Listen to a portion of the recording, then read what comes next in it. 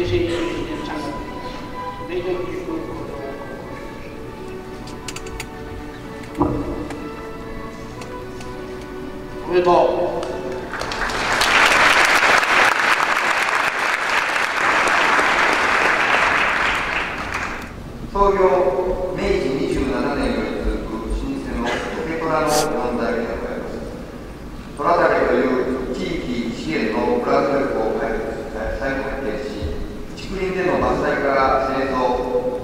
造、商品開発、販売までインターネットを活用して、豊かな竹のある暮らしを全国に情報発信しております。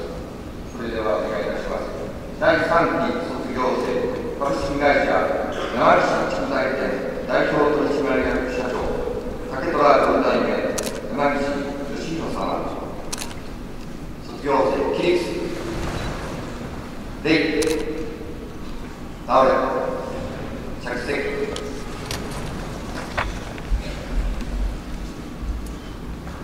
卒業生の皆様保護者の皆様ずっと温かく見守り続けてくださいました先生方本日は誠おめでとうございますただいまご紹介に預かりました第3期山岸義弘と申します私がこの誕生で卒業証書を今はなき吉田幸雄校長先生からいただきましたのはもう34年も前のことになります卒業証書を手渡してくださいながら校長先生は言われました「おんしゃ大学は決まったかい?」いやまだ決まっておりませんよし分かった名曲の6年間何をやっても中途半端スポーツで目はつまってもなく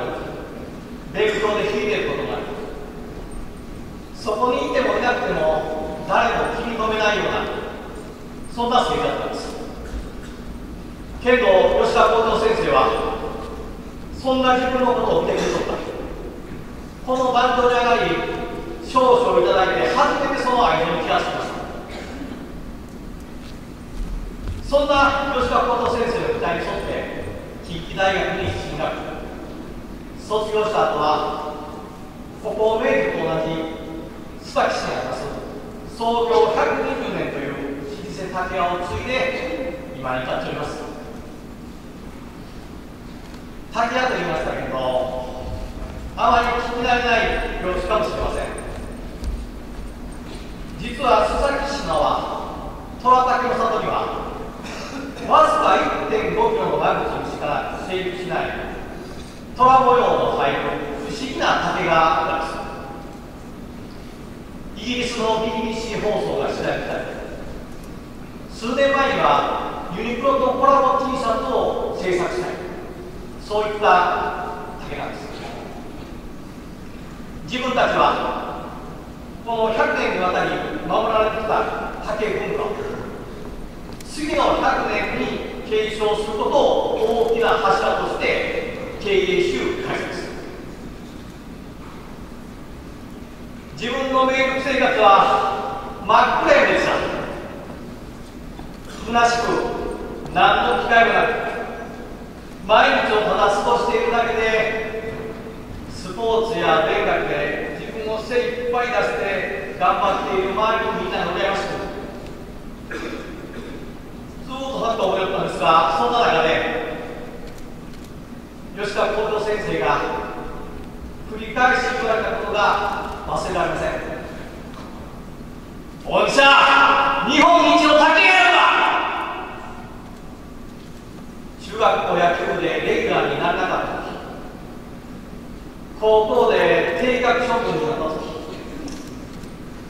不甲斐ない自分を見つけては、そんなダメな男が日本でそこにしかない竹を守っていけるのかやっていけるのか竹屋になれるのかいつも問いかけてくれて励ましてくれおりましたけど当時はそんなことが全く分からず竹など大嫌いでかっ愛いということばっかり思っていましたのでその言葉が嫌で嫌でたまらなかったです再びそのことを思い出したのは大学4回生の夏でした実家の竹屋に帰省中に不思議な体験をしたのですちょっとここへ来てみいや。深夜の真っ暗な竹工場から声が聞こえるがです。その声に導かれて行ってみると火事でした。竹は油分のとても多い植物です。燃え始めると手がつけられません。まるで化学工場の火事のように次の日の昼まで燃えて燃えて竹虎の工場は全焼しました。けどその燃え盛る炎の中でその炎よりもさらに大きい火が自分の胸についたかを感じたのです。おんしゃ日本一の竹やろが今思えば激励してくれよったあの声。自分が大嫌いやった竹をその時に継ぐことを決めたのですところが入社しても竹屋の仕事は典型的な尊敬ですきつい汚い危険景気のように時代だったので周りのみんなが輝いて見えてそれは明徳で何一つ達成できずに人を羨んでばっかりの自分と全く同じでした。竹は衰退産業そのものだったんです。年々落ちていく売り上げ。自分ではどうしようもない閉塞感の中でもがいてもがいてけど大きな借り入れ金の中会社の倒産も時間の問題のように思い起きました。いよいよ自信もなくなり何の光も見えなくなった。思い詰めた日一人のお客様の声が胸に刺されました。あなた方の仕事は素晴らしい。私は滝を見ると癒されあんな誰も見向きもせん滝を素晴らしい。癒され信じられませんでした。けどお客様の真剣な目を見た時涙が溢れて止まらんなったんですそしてもう一度思い出しました。あの校長先生の声おんしゃ日本一の竹やろだ自分が諦めてしまうからこの日本唯一の竹はどうなたくさんの職人さんはどうな竹を素晴らしいと言ってくれるお客様はどうなもう一回やってやる。そういえばメイトとの交渉はタンポです踏まれても咲くタンポの笑顔。校長先生をよう言いよりましたタンポポは何回踏みつけられてもまた生えてきれいな花を咲かせるがです倒産して亡くなりかけとった竹虎がインターネットを通した情報発信に活路を見出した原点は全部この名徳にあったんです。おっしゃ日本一の滝や！分が何度も何度も絶好生徒の前で怒鳴られた言葉は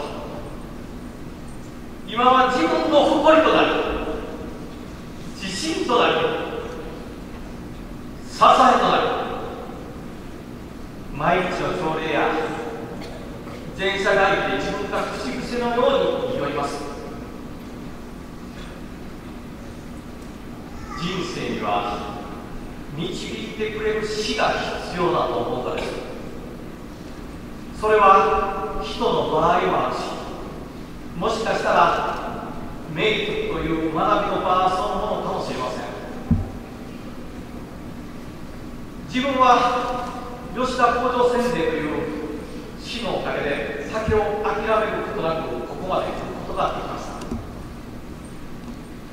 昔は面白くなくてやめたいといよったそんな仕事がこのように楽しく胸を張れるようになったのは諦めずやり続けきたか自分がやりがいを見つけたからだす最後に竹の話をして終わりたいと思っています人は竹に習うことは一つあるのです竹はまっすぐに天を目指してわずか3ヶ月で二十数メートルの高さに成長します。けど恐怖がついてもしなっておりません。この秘密は不思にあります。竹は節があるから強い。そして土の中で天然の鉄筋コンクリートと言われるぐらい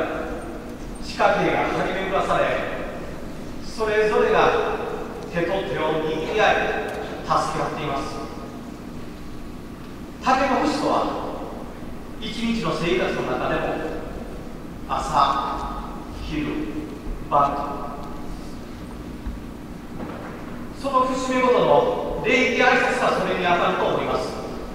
そして地下茎の助け合いはまさに明徳の寮での共同生活そのものです。竹に触れるたびそのことを思い出してやっていきたいと思う中はです。僕は34年前の卒業式に天国でも明徳に行くぞ。公式誌に書きました辛いことばっかりの6年間で6年間やったけどだからこそ迎えることもできるこの春の日をこじゃんとかけがえのない素晴らしいものに思いながらです。そして今でもその気持ちは一つも変わっておりません。今日はね天国で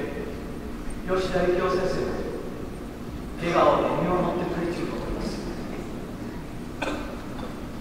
まだまだ恩師に会える人は先のことやけど100年続いた虎竹の里の文化を次の100年つなげていけるようにこの谷間で学んだ明徳精神でこれからもやり抜いていくつもりです皆様のこれからの素晴らしい最高の人生山あり谷ありけどだからこそ楽しいいつでも帰ってこられる心のふるさとが僕らにはあるんです。今からスタートする